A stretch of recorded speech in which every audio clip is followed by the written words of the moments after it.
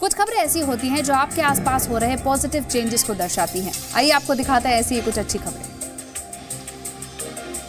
अतिक्रमण हटाने की तस्वीरें खास है।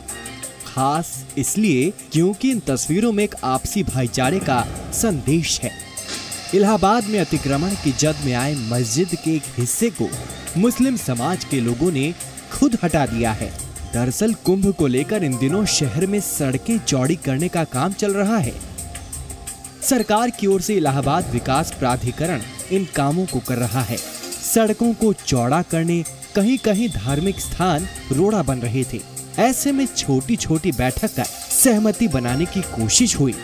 लोगों ने विकास के महत्व को समझा और धर्म स्थान की देखभाल करने वालों ने ही खुद अतिक्रमण से मस्जिद के हिस्से को हटा लिया।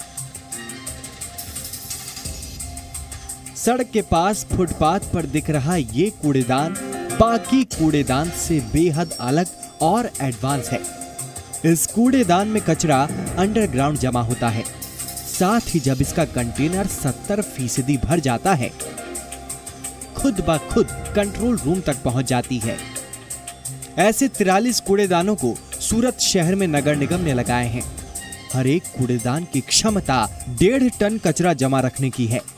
स्मार्ट सिटी मिशन के तहत लगाए गए इन कूड़ेदानों को अभी सूरत के कुछ ही इलाकों में लगाया गया है। लेकिन आने वाले दिनों में इसे बाकी इलाकों में भी लगाया जाएगा।